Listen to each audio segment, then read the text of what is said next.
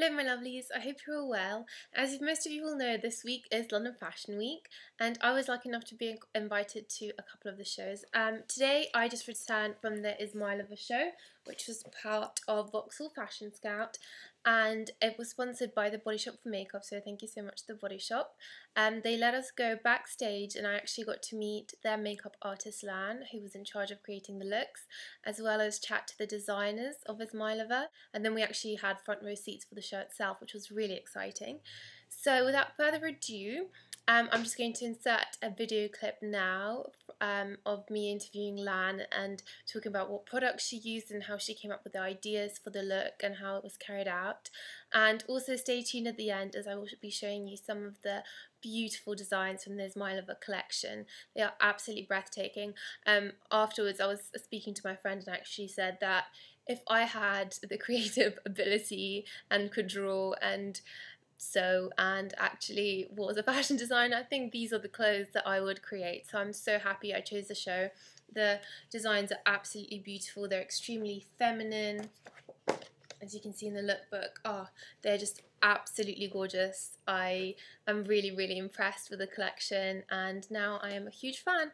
So do stay tuned till the end to see the pictures from the actual catwalk show itself. And I hope you enjoyed my little interview with Lan and I'll see you all soon. Thanks so much for watching. Yep, so how did the makeup come about for the collection and what inspired you to do it? Um, makeup look is quite a fresh um, but understated, glamorous, young, um, with a slight twist of a couture, mm -hmm. effortless look.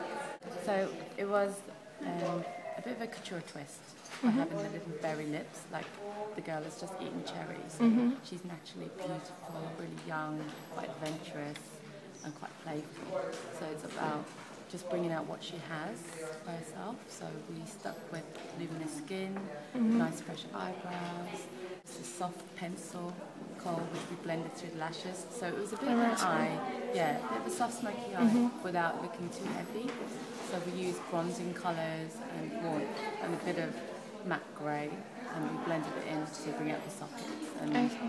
and just like a little bit of worn makeup underneath, a bit of a highlight in the inner eye. So do you think that strong lips are a key trend for this season? Um, the lips are not actually strong, it's just a stain. Mm. So it's more of a berry stain, but when we sort of mapped it out and blanked out the sides, it sort of brought that sort of colour okay. right through. So. so it's a different shape really? Yeah, just to bring a different shape, but it's already there. Mm-hmm. The girls' lips are already there, it's a stain, and all we've done is just brought it out by using the foundation to block out some of the other areas. So instead of adding so much lipstick and doing it the other way that you usually do it, we've done it that she's already worn it and we've taken it off.